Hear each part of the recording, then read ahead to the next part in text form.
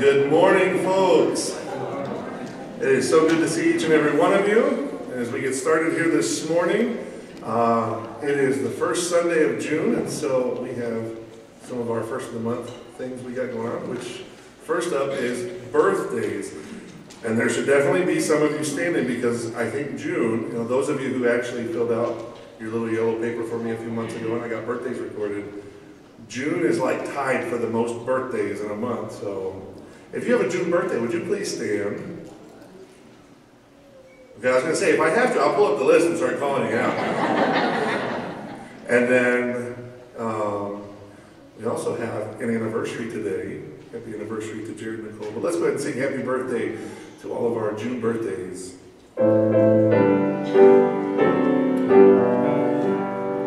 Happy birthday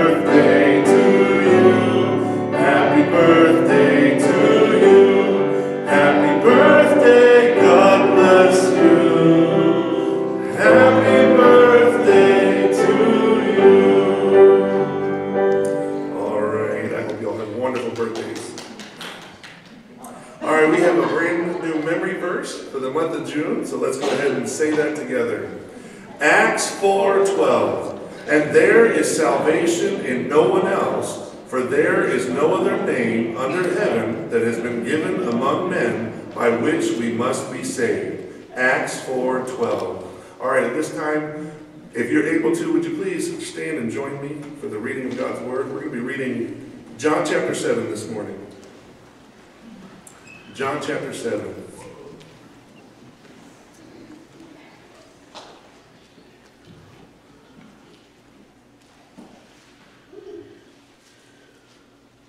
Here John writes, chapter 7, verse 1 says, After these things, Jesus was walking in Galilee, for he was, he was unwilling to walk in Judea because the Jews were seeking to kill him. Now the feast of the Jews, the feast of booths, was near. Therefore his brothers said to him, Leave here and go into Judea, so that your disciples also may see your works which you are doing. For no one does anything in secret when he himself seeks to be known publicly. If you do these things, show yourself to the world. For not even his brothers were believing in him. So Jesus said to them, My time is not yet here, but your time is always opportune. The world cannot hate you, but it hates me because I testify of it, and that its deeds are evil. Go up to the feast yourselves. I do not go up to this feast because my time is not yet fully come. Having said these things to them, he stayed in Galilee. But when his brothers had gone up to the feast, then he himself also went up, not publicly, but as if in secret. So the Jews were seeking him at the feast and were saying, Where is he? There was much grumbling among the crowds concerning him. Some were saying, He is a good man. Others were saying, No, on the contrary, he leads the people astray. Yet no one was speaking openly of him for fear of the Jews. But when it was now the midst of the feast, Jesus went up into the temple and began to teach. Then the Jews then were astonished, saying, How has this man become learned, having never been educated? So Jesus answered them and said, My teaching is not mine, but his who sent me. If anyone is willing to do his will, he will know of the teaching, whether it is of God or whether I speak from myself. He who speaks from himself seeks his own glory, but he who is seeking the glory of the one who sent him, he is true, and there is no unrighteousness in him. Did not Moses give you the law, and yet none of you carries out the law? Why do you seek to kill me? The crowd answered, You have a demon. Who seeks to kill you? Jesus answered them, I did one deed, and y'all marvel. For this reason, Moses is giving you circumcision, not because it's from Moses, but from the fathers. And on the Sabbath, you circumcise me. If a man receives circumcision on the Sabbath so that the law of Moses will not be broken, are you angry with me because I made an entire man well on the Sabbath? Do not judge according to appearance, but judge with righteous judgment. So some of the people in Jerusalem were saying, Is this not the man whom they are seeking to kill? Look, he is speaking publicly, and they are saying nothing to him. The rulers do not really know that this is the Christ, do they? However, we know where this man is from. But whenever the Christ may come, no one knows where he is from. Jesus cried out in the temple, teaching and saying, You both know me and know where I am from. And I have not come of myself, but he who sent me is true, whom you do not know. I know him because I am from him, and he sent me. So they were seeking to seize him, and no man laid his hand on him because his hour had not yet come. But many of the crowd believed in him, and they were saying, When the Christ comes, he will not perform more signs than those which this man has, will he? The Pharisees heard the crowd muttering these things about him, and the chief priests and the Pharisees sent officers to seize him. Therefore Jesus said, For a little while longer I am with you, then I go to him who sent me. You will seek me and will not find me, and where I am, you cannot come. Jews then said to one another, Where does this man intend to go that we will not find him? He is not intended to go to the dispersion among the Greeks and teach the Greeks, is he? What is this statement that he said, You will seek me and will not find me, and where I am, you cannot come? Now, the last day, the great day of the feast, Jesus stood and cried out, saying, If anyone's thirsty, let him come to me and drink. He who believes in me, as the scripture said, from his innermost being will flow rivers of living water. But this he spoke of the Spirit, whom those who believed in him were to receive. For the Spirit was not yet given, because Jesus was not yet glorified. Some of the people, therefore, when they heard these words, were saying, This certainly is the prophet. Others were saying, This is the Christ. Still others were saying, Surely the Christ is not going to come from Galilee, is he? Has not the scripture said that Christ comes from the descendants of David and from Bethlehem, the village where David was? So a division occurred in the crowd because of him. Some of them wanted to seize him, but no one laid hands on him. The officers then came to the chief priests and Pharisees, and they said to them, Why did you not bring him? The officers answered, Never has a man spoken the way this man speaks. The Pharisees then answered them, You have not also been led astray, have you? No one of the rulers or Pharisees has believed in him, has he? But this crowd, which does not know the law, is accursed. Nicodemus, he who came to him before being one of them, said to them, Our law does not judge a man unless it first hears from him and knows what is he what he is doing, does it? They answered him, You are not also from Galilee, are you? Search and see that no prophet arises out of Galilee. Everyone went to his home. Let's pray. Father in heaven, as we come before you this morning, Lord, I thank you for your precious truth. Father, I pray that we, as your children, would seek to cherish it. Father, seek to know it and read it and study it and then obey it and apply it to our lives. Father, I pray that here today, Lord, you would bless our services. Father, from our worship of your majestic and holy name to our fellowship to the preaching of your word. May Jesus Christ be glorified. And it's in his name that we pray. Amen. This time, let's go ahead and remain standing. Let's sing and worship our great God. Faith is the Victory.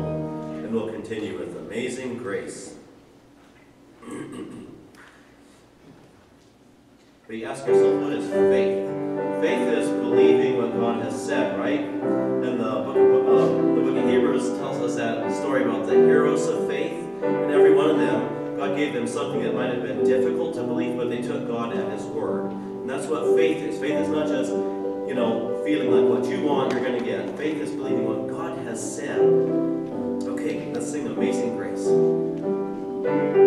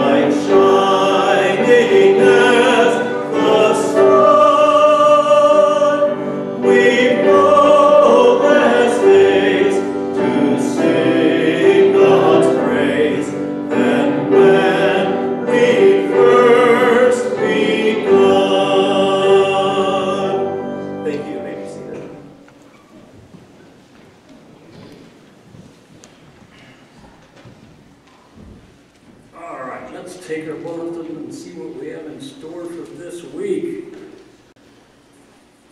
Busy week last week, so busy week this week, right? Tonight is youth group at six P M, don't don't forget that. Monday is open gym, and then we also have the CPR training. If you have uh, signed up for that, make sure you're gonna be here. And then Wednesday is our normal prayer meeting. If you could attend, please do. It's a good time.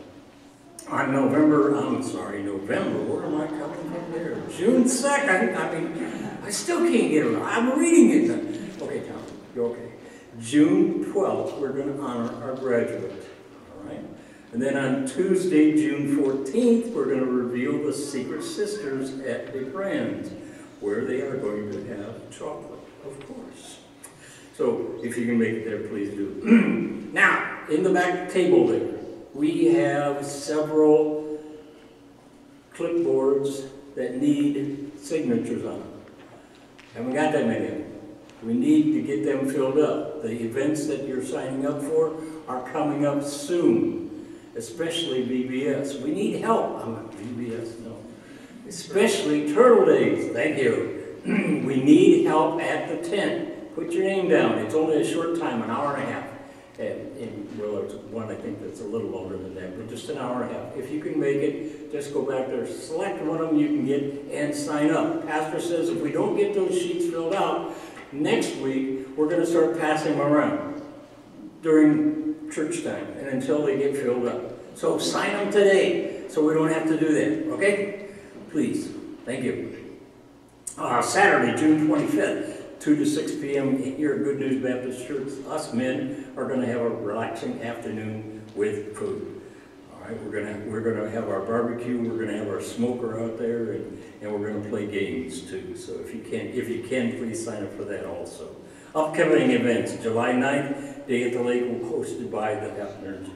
Uh, pray for a nice day, we've had some, and, uh, the, the, the lake's ready. Uh, we're, we're ready to receive you, and we hope we have a good turnout there.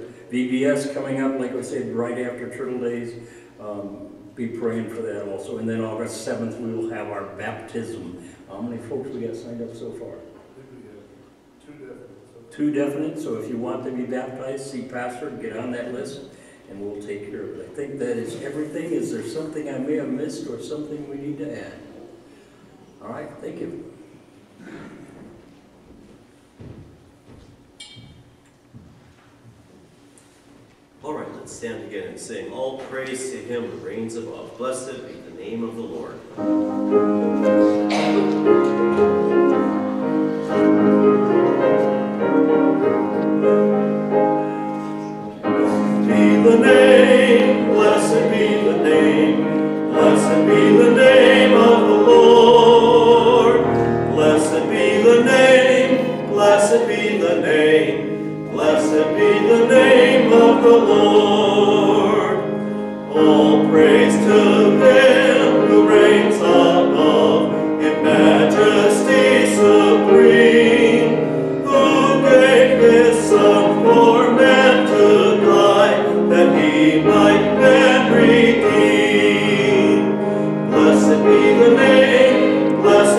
the name, blessed be the name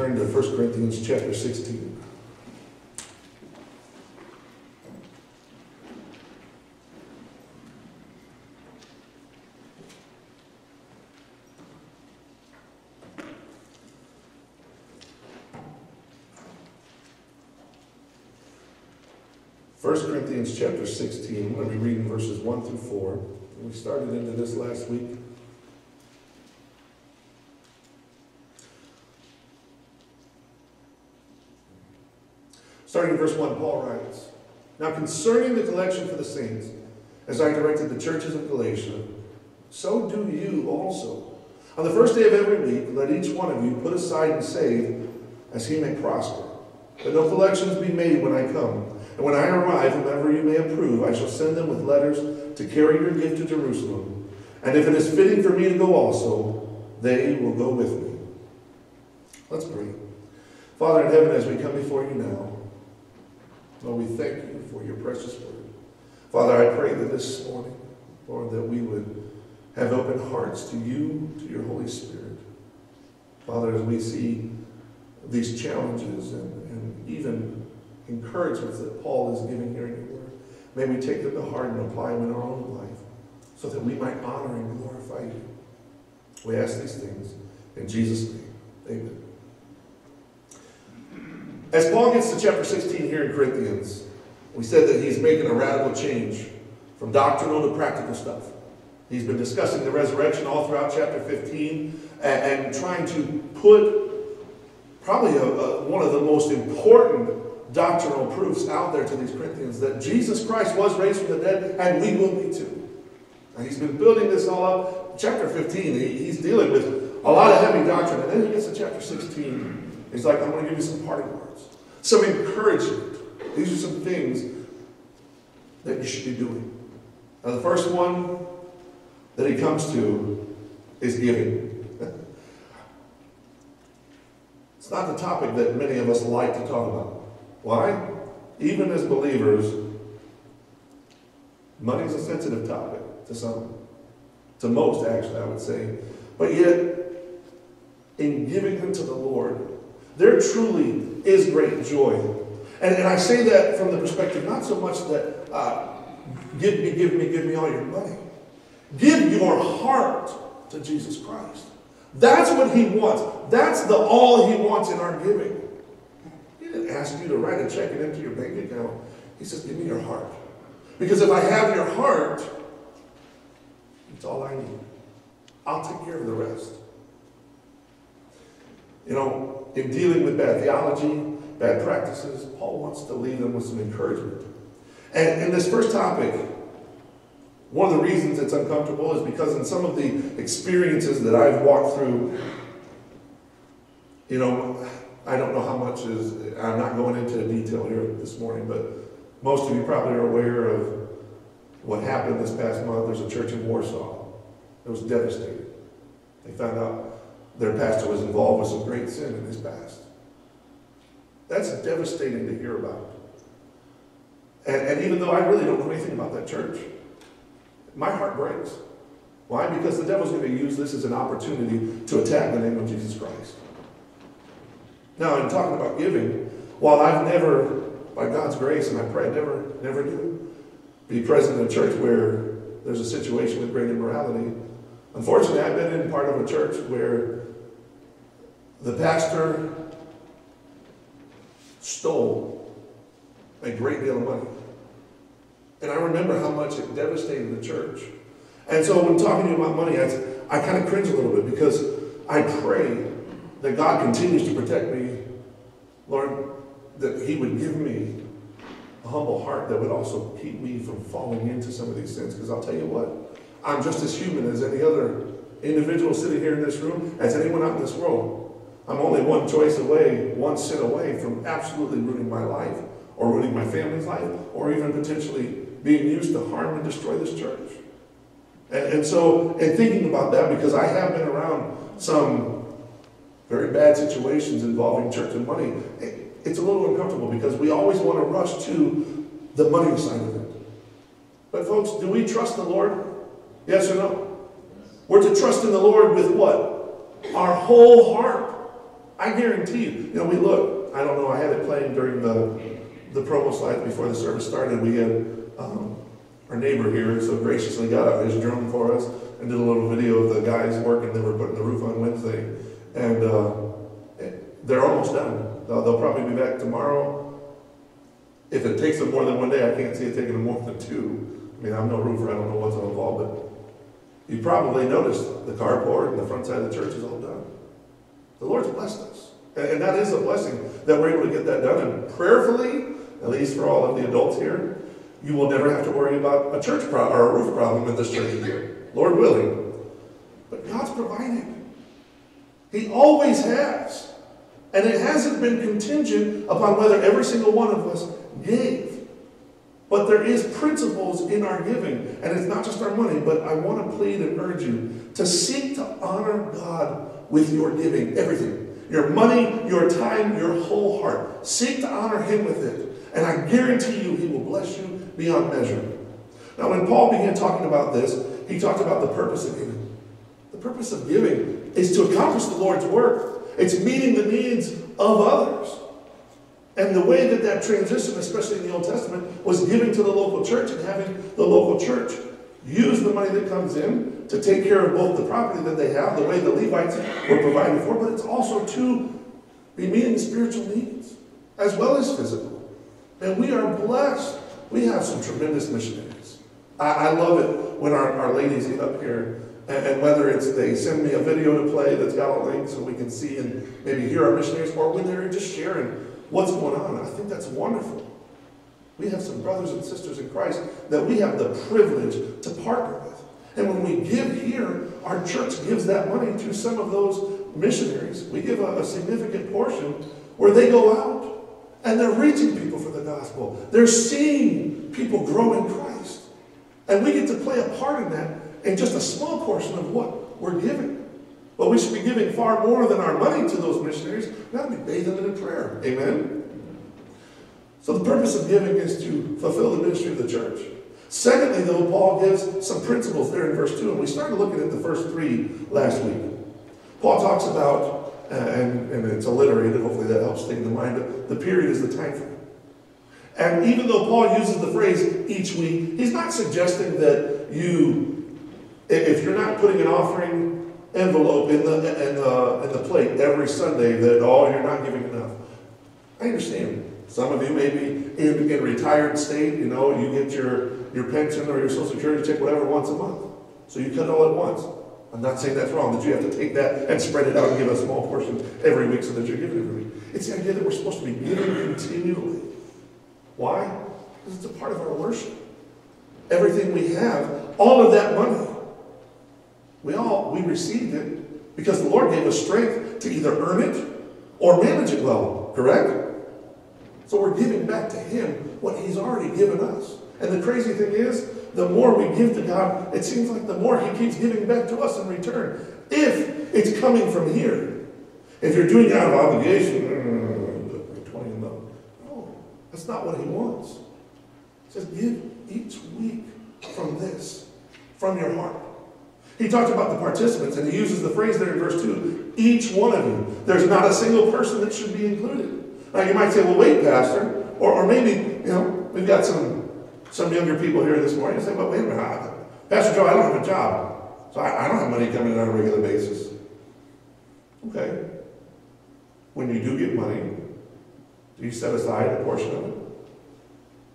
And maybe you don't have a lot to give. Maybe, maybe at max, maybe some of you kids can only afford maybe to put a quarter or even a dime in, the offering.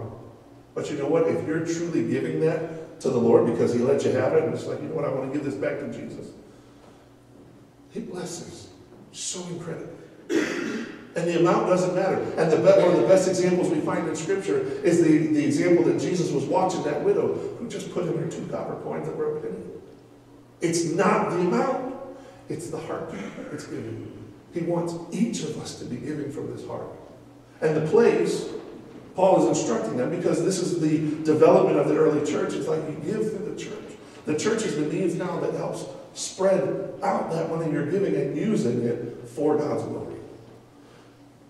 Now, this week, we come up on the difficult one the proportion. How much should we give? Well, I want you to look back at verse 2 there.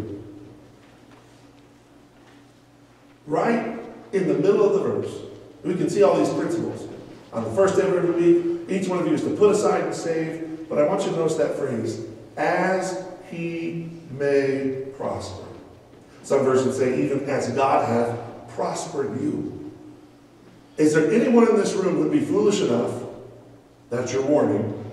So don't raise your hand. But is there anyone foolish enough in this room to raise their hand and say, God has not blessed me? Thank you for not raising your hands. God has blessed us beyond measure. And when we give to Him, that's how we prosper, because He in turn blesses us. And Paul's exhortation here, his challenge, is completely discretionary for a Christian to give as he may prosper. And there's much difference of opinion when it comes to how much should we give, how much of our income should be given. We use the words tithe and offering frequently when it involves our money and giving to the church. Okay? If I were going to stop here, and I don't want to go into this too deep, but if I want to break it down, some people automatically want to say, well, tithing means that you have to give your 10%. I can sit here and I can spend time with you if you want. I can show you from Scripture where there's nowhere where that's prescribed in New Testament giving. You say, wait a minute. So you're saying I don't have to give 10% and I can just, I'll, put a dollar in every week and I'll be blessed, right? No. I think tithing and even having 10% as a figure is a good goal. So here's where I'm going to try and encourage you a little bit. Okay, if you think and you want to say, well, we all are supposed to give, because that's what the Bible says, we're all supposed to give our 10%, I can take you through the Old Testament. I can show you passages that, that show, if you really want to go to Jewish law, they didn't give 10%.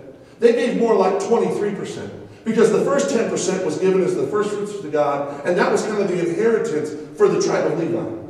Because if you know anything about the land, when the portions of land were being divided out to the 12 tribes of Israel, God didn't give um, every tribe a portion of land. Levi didn't get a portion of land. Say, well, that's not fair. God had a higher calling for them. He chose Levi to serve as the priestly tribe. And so that first 10% that came in, that was actually the way of the other tribes giving unto the tribe of Levi to help them meet their needs. They were the ones going to God on behalf of the rest of the nation of Israel, offering sacrifices. So the way that the other tribes helped support them was by giving. That's what we could call our tithe today. Our tithing for the church, a percentage that we give unto the Lord, is what helps pay the bills around here. Offering, though, is something different. Offering is something above and beyond. See, on top of that 10% that they gave to take care of the, the, the, house of God and the tribe of Levi, they would give another 10% that helped cover the cost of all the feasts, um, uh, meeting other needs that the nation of Israel had. So we're up to 20%. But then God even says in, Levit- or in Numbers, every third year, you need to give an extra 10% every third year because that's going to meet the needs of all the widows and the poor.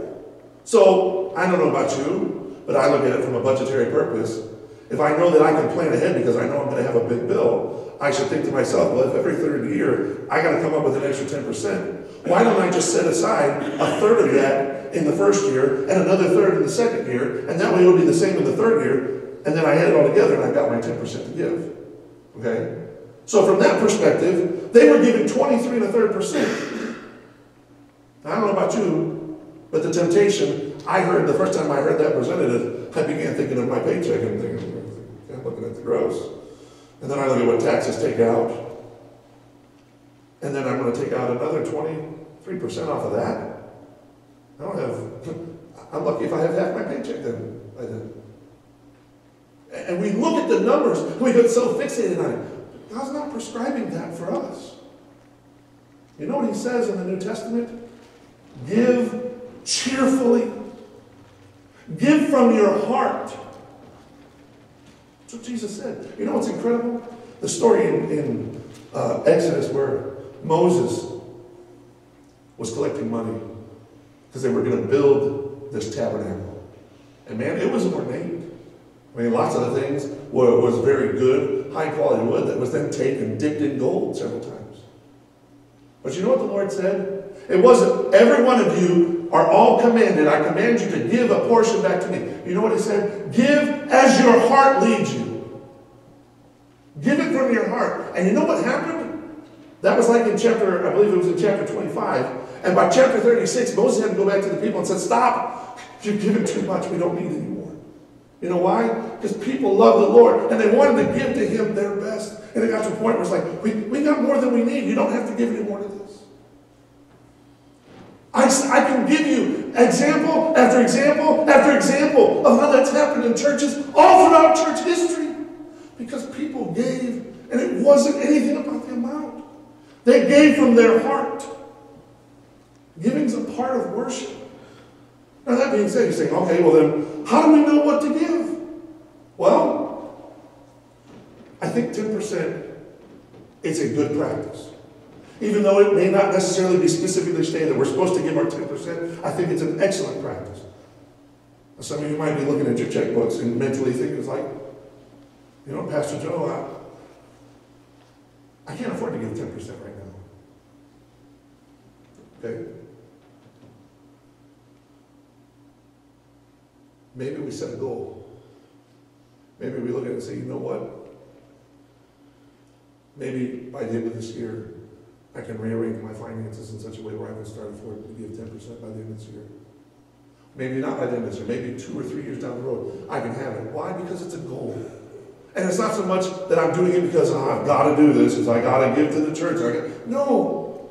I want to be in a position where I can give to God. And then, quite frankly, and I know that this has to be true in the hearts of, of some people, they get to a point where they've reached that goal of 10%, and then they start thinking, like, what else can I give? Because He's allowed me to get to this point where now I'm giving Him my 10%, but man, He started blessing me in some other ways now. Now I have all this extra. Lord, what else can I do for you? But that comes from a heart that says, Lord, I want to give you all. I know you'll meet my needs. That doesn't mean that you're foolish, that you go out and just say, okay, empty the bank account and give it to the church. Okay, God, please bless me. No. God didn't call us to be foolish. He just wants your heart. It's all he's ever wanted. Crazy thing is, if we want to expound on that,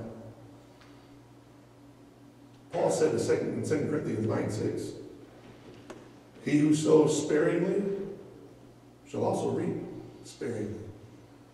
And he who sows bountifully shall also reap bountifully. The benefits of a willful, cheerful giving unto the Lord produces both spiritual and material blessing. And you know what's even crazier? Just two verses later in that same chapter, Paul says, And God is able to make all grace abound to you, that having all sufficiency in everything, you may have an abundance for every good deed. Let me clarify. As far as tithing is concerned, I don't know what you give, don't want to know. But I do know what Scripture says about giving that portion that first comes in to help meet the needs of this church. Malachi 3.10, and I quoted it last week and I've quoted it several times. That's the promise, that's the challenge that God says. I dare you to take me up on this. And not because he's challenging us in a confrontive way, he's like, I dare you, because I want you to take up the dare so that you will see how great I am and how much I can bless you. And prove me now here with, if I won't open the windows of heaven so much and pour you out a blessing that you won't have room enough to receive it. And, and he's talking there though, because in the, in the previous verses, he's actually chewing the people of Israel because they were failing to give just to meet the basic needs of the tribe of Levi. If God wants to bless us that much and just giving for the basic things, how much more do you think he'll bless us when we're able to give even more? You've heard the phrase, he owns the cattle on a thousand hills. He's got everything. But he's not going to just bless us and give us everything if we're not seeking to follow him and obey him. And I'm not going to tell you that you're wrong. One of the reasons why I try to stay as far away from the offering envelopes and the giving as much as possible because I don't want to know. You know why? There's, there's one thing, and there's one job in this church that I despise. It's those who have to count the offering. And the reason being is because they see who gives what. And I guarantee you, there are many times the devil wants to work on them and say, oh, look, that family doesn't give as much as this one does, or, or these people don't give as much as you do. Don't think for one second that the devil doesn't try to attack those individuals who do that and serve in that capacity in your church.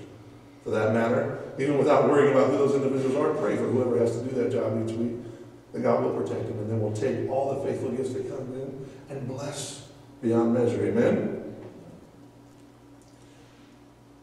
I want to urge you to consider setting a percentage.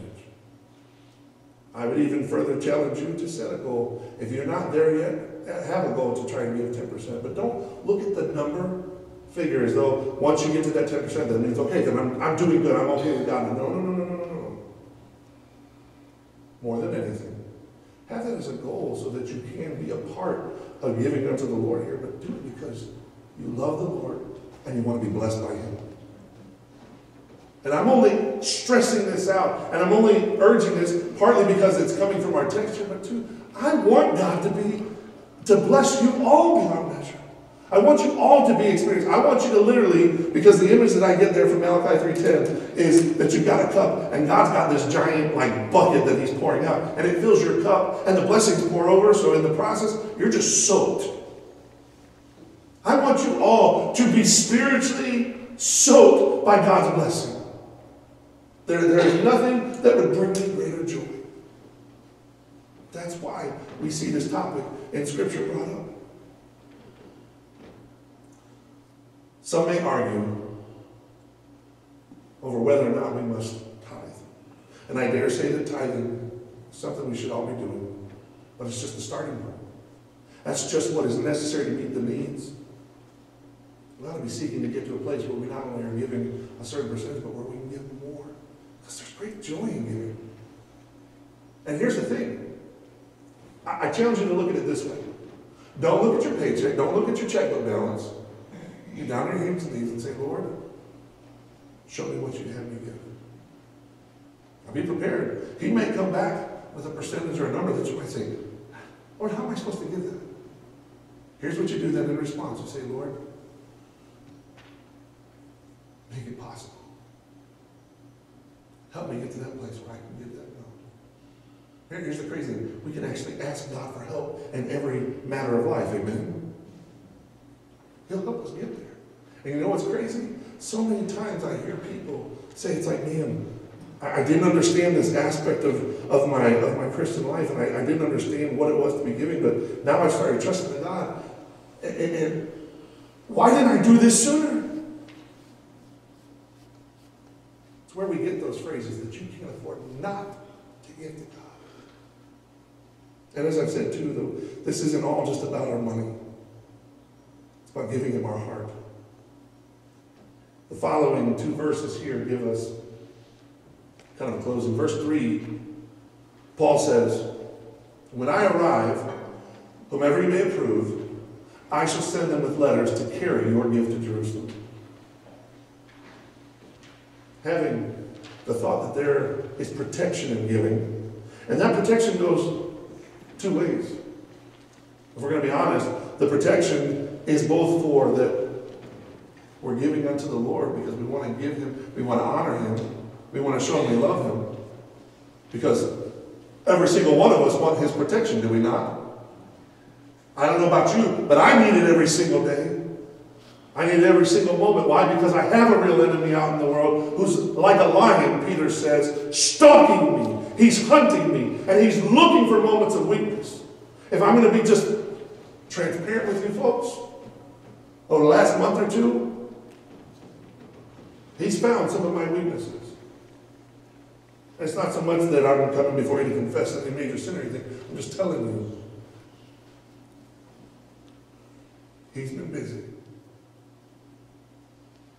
And while by God's grace, I don't necessarily have any sin to confess before you right now, I want to tell you, just because I he didn't, wasn't successful in leading me into sin, it doesn't mean for one second that I didn't get bruised and battered along the way.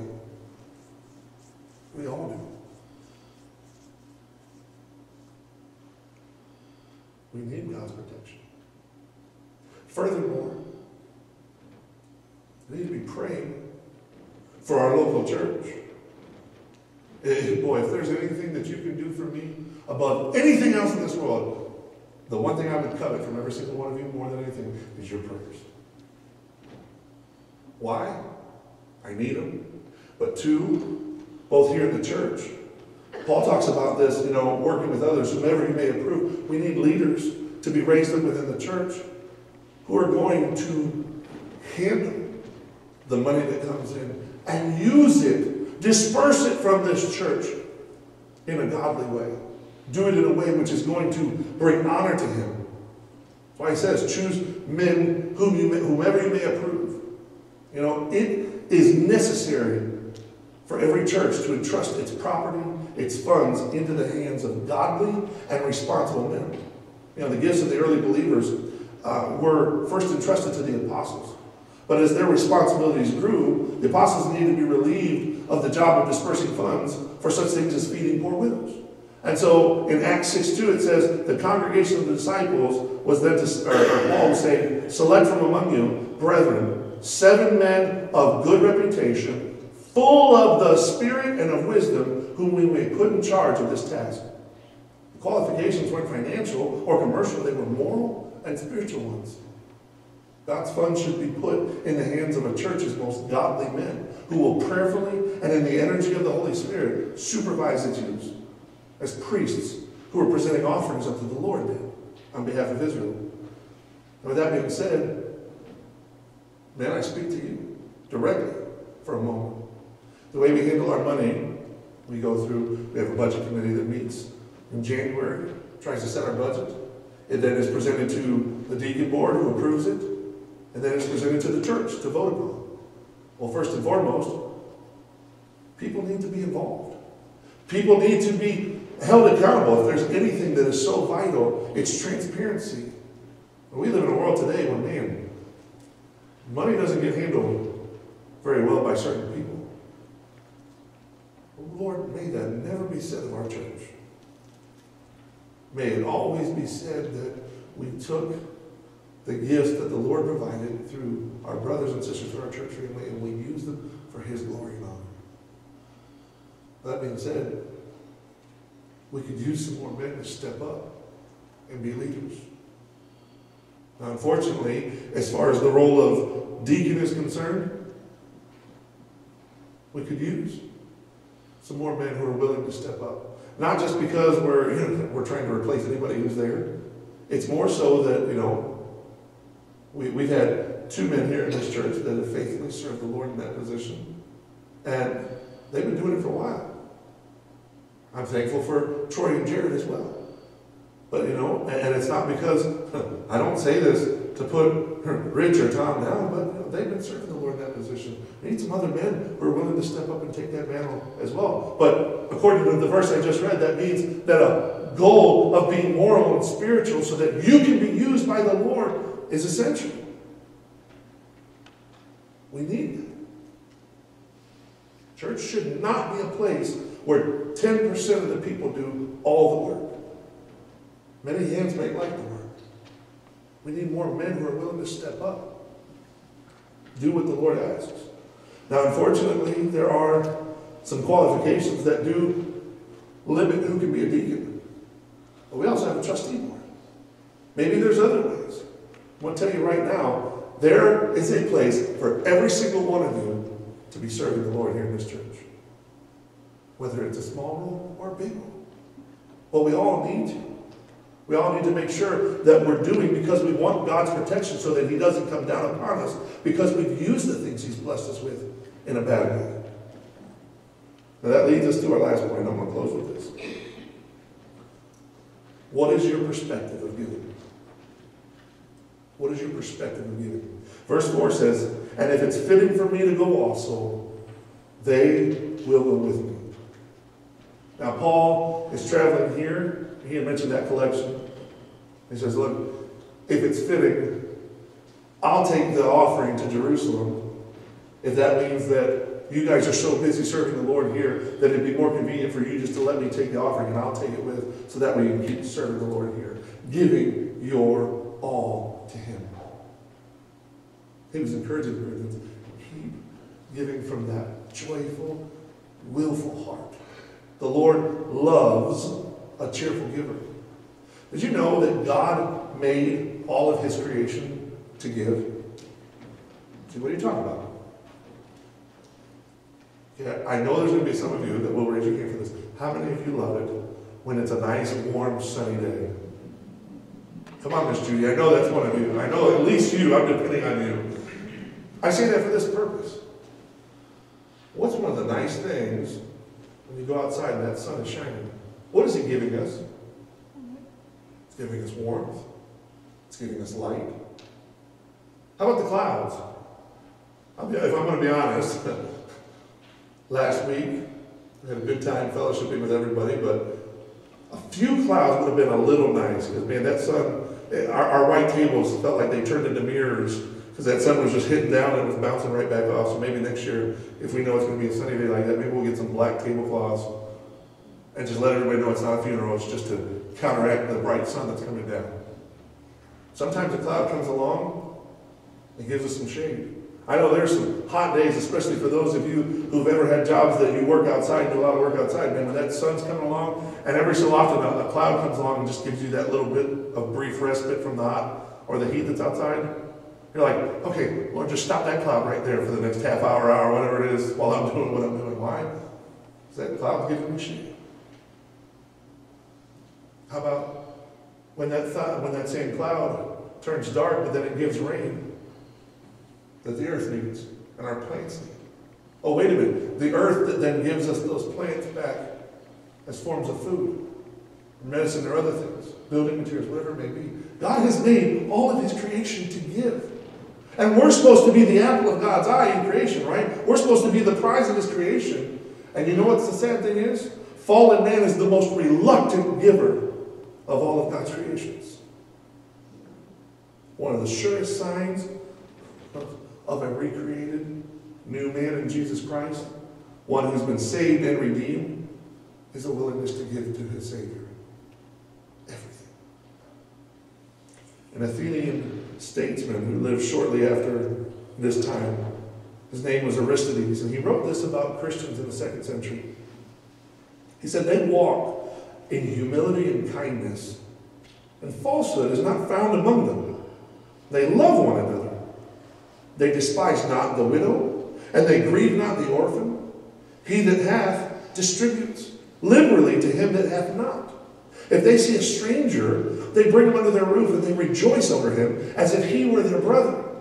For they call themselves brethren, not after the flesh, but after the Spirit and in God. But when one of their poor passes away from the world, and any of them see him, then he provides for his burial according to his ability. And if they hear that any of their numbers in prison or oppressed for the name of their Messiah, all of them provide for his needs. And if it's possible that he may be delivered, they deliver him. And if there's among them a man that is poor and needy, and they have not an abundance of necessity, they will fast two or three days so that they may supply the needy with his necessary food. Does that describe you? Uh, let, me, let me turn that around. Because I'll ask the, the question not just to, my, to you, but to myself. Does it describe me? It should. You know, my hope and plan is that after we wrap up our study here in 1 Corinthians, we're going to take a look at the book of Philemon. One of the most important principles that's taught in that book is about forgiveness. You know what word you find right in the smack middle of forgiveness? Give.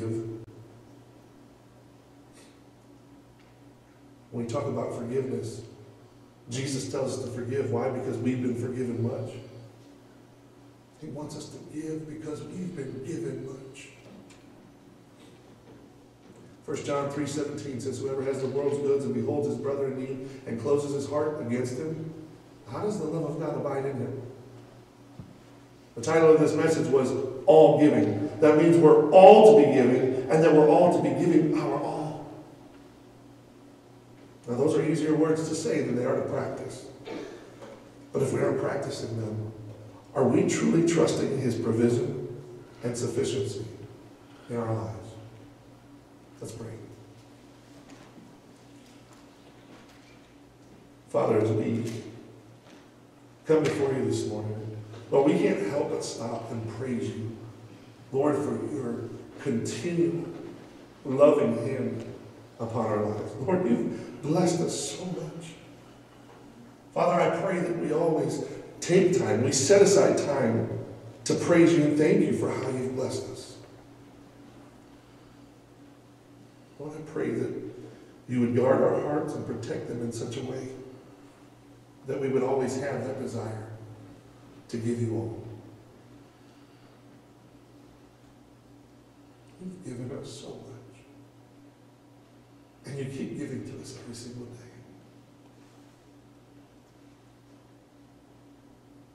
May we give all to you. We pray this in Jesus' name. Amen. All right, let's close by singing Trust and Obey.